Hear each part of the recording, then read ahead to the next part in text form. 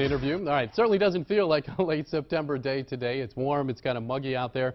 Temperatures uh, upper 70s to around 80 in some places. It's near 80 over on the eastern shore, Chestertown.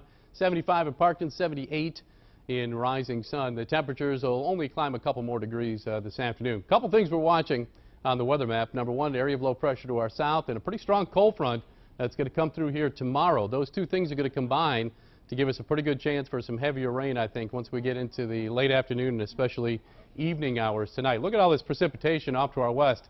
Some of that's going to get through here eventually, so the area of low pressure south and the front will combine uh, to give us, uh, I think, a brief period of heavy rain as we head into the early nighttime hours. Right now, most of the heavier rain is confined to the mountains, and right now at the present time around Baltimore, there's just some light sprinkles out there at worst. So in the short term, don't worry about the heavy rain. The further we go into the day, the better the chance that's going to catch up to us. Quick update on the tropics. This is Tropical Storm Joaquin. Sustained winds 45 miles per hour.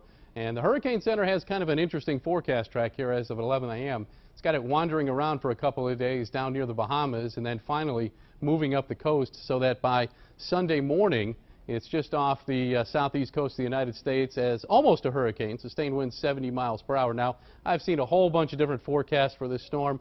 Even if this storm stays offshore, I think we have the possibility of winding up with some heavy rain here in the mid-Atlantic on Friday and Saturday, not necessarily from the tropical system, but from another one. It's a complicated forecast. Just know if you have travel plans to the beach this weekend, there's still a chance for some heavy rain. Variable clouds today. Showers or thunderstorms likely late this afternoon, this evening. High temperatures upper 70s and low 80s. Tonight, mostly cloudy with a pretty good chance for showers or thunderstorms. We'll drop back into the upper 60s. Seven-day forecast. The front comes through tomorrow with some scattered showers, 75. Then it gets kind of chilly. The high temperature is only in the low 60s Thursday and Friday.